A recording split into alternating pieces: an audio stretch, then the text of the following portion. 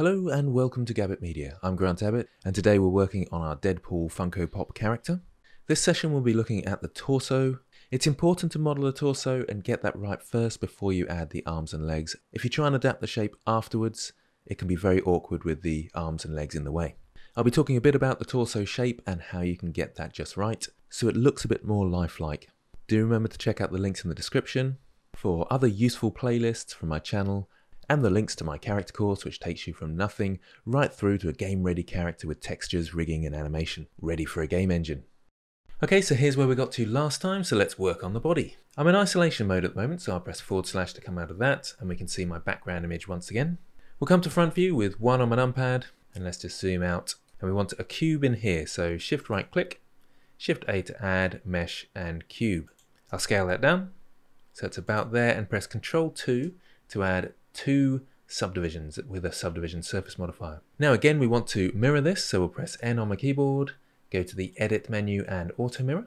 So if I go into Edit mode now, you can see the mirrors there, and it's here as well, but it is below the subdivision surface modifier. That's not good practice. Always have your mirror first, so it mirrors across to the other side, then it subdivides it. Otherwise you might get a line down the middle. Okay, so we need to add a few loop cuts and edit our shape.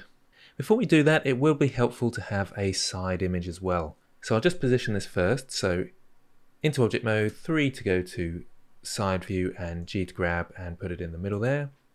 In fact, what would be even better, if I go to item at the top here, let's click and drag on the X and Y and press 0 for those, so it's right in the center.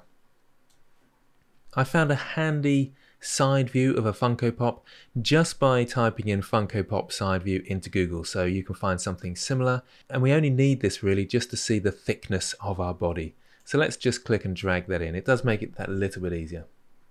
Okay, and with this selected, I can press Alt R and Alt G to remove any grabbing or rotation. I'll press RX90 to rotate around the x-axis, RZ, I think it's minus 90 to go front forwards, yep. And 3 to go to side view, let's move this into position and scale it as necessary. Let's go to wireframe for that. So probably around there. Let's click on our cube again then. Zoom into this slightly and scale in the Y so we've got the right sort of shape. And it's slightly forward a little bit more, isn't it? There we go. I'll move in a bit closer on this. Tab to go into edit mode and control R to do a loop cut for the arm hole.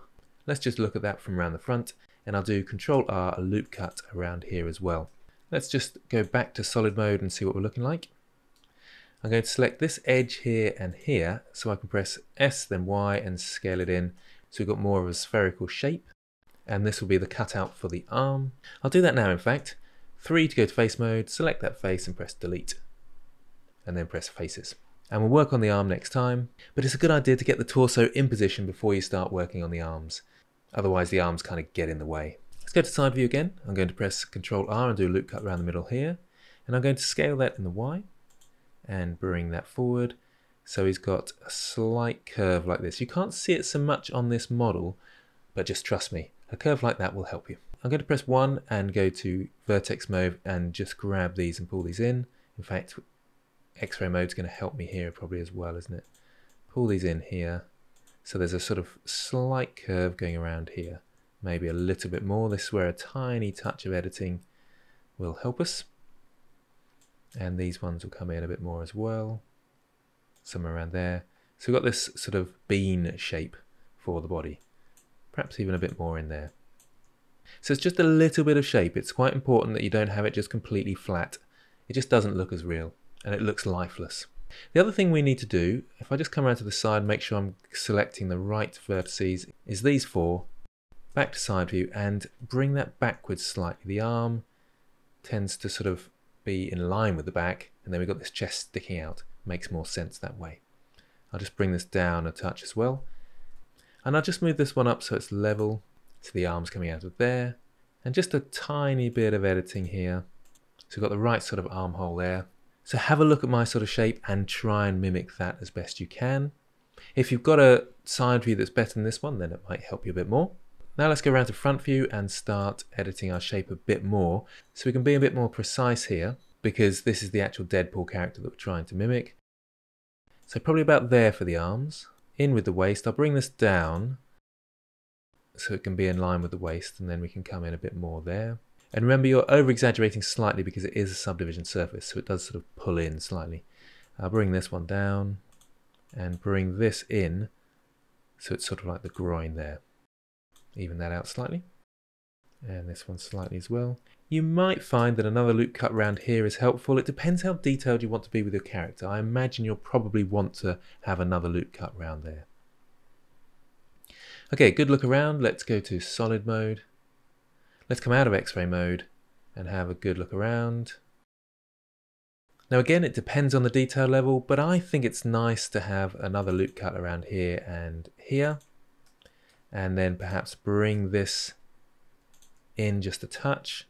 So I can press GG to edge slide that in, just to give it a touch more curvature. So down here, GG. It's very minimal, but that will help us. Then we've got the head part here.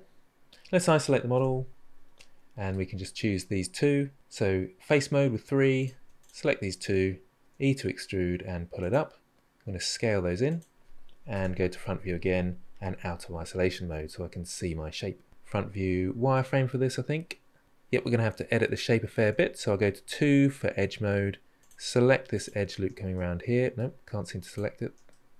Let's go across to the on cage option, that will help us a little bit. And of course it's going into a pole. I was trying to alt left click and hoping to select the whole loop cut, but it's a pole there, isn't there? So I'll have to just go around pressing shift. And then let's go to front view again and scale those in. Now scaling is going to seem a little bit weird here because it's scaling just this section because it's mirrored to the other side. So you can actually press G then X and grab it inwards. Somewhere around there I think. Now we've got a slope downwards so we might need another loop cut down here. So Control R, another loop cut down there, and then we can grab this one. In fact, I'll go to vertex mode for that. Grab these and and pull them up slightly to there. These can come out a bit more now. There we go. Let's take a look at that in solid mode. So out of X-ray mode into solid mode. It's looking very weird because that's wireframe without X-ray. So I think that might be a bug, but I'm not sure. Let's go back to solid mode there. Oh, and we need to bring the neck back a touch. So let's come in here, select these and this, side view, G to grab, and the neck is more sort of towards the back like this. And let's pull this front section here outwards.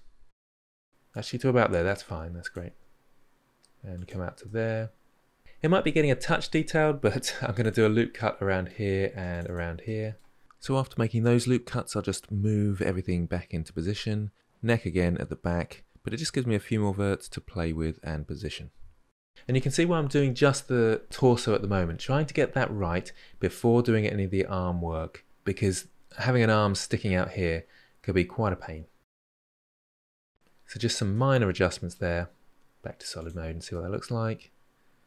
That's looking okay, isn't it? I think maybe a little bit more from the back here. G then Y. I'm going to do one more loop cut around the neck just to make sure these come down that little bit more. Do you see them jump down slightly there? So you can see that loop cut around there. I can scale that in a little bit as well. We don't really have to worry too much about the neck. I'm just worried about these verts just in here. Okay, so that's the torso. The other sections are fairly simple once you've got that torso in. Let's go to solid mode and I'll hide my reference images, so H to hide, just so you can see the shape.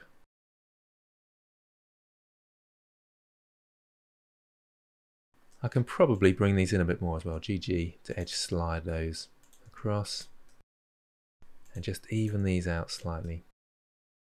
There we go. Nice simple torso, ready for the other parts. It may be a touch small, but we'll figure that out when we add the legs and arms in as well. Okay, so thanks for watching, and I'll see you next time.